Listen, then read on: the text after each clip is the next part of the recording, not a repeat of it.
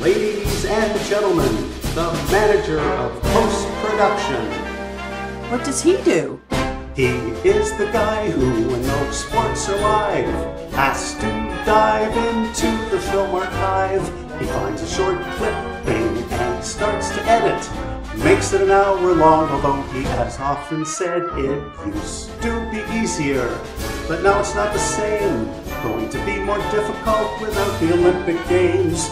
Find myself struggling just to find a game with nothing live. It's not the same.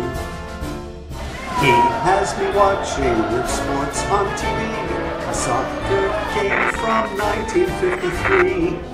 Then a poker match, then Aussie Rules, and end up watching a tug of war that's only played in junior schools. And I have developed a kind of ESP. I can't predict what's coming on TV. It's a little bit annoying when you have the skill. The games are recorded, so I always will. I can call a strike or ball before it is even thrown.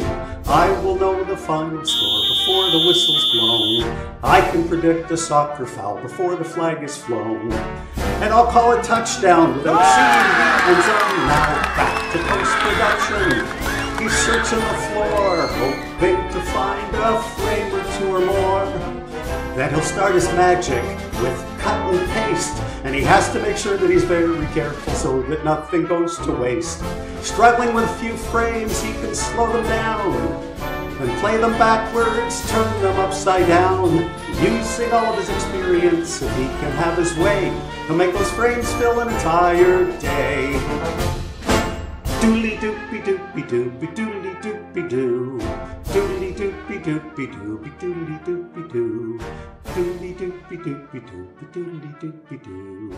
Doodly doopy doopy doopy doodly doopy doo.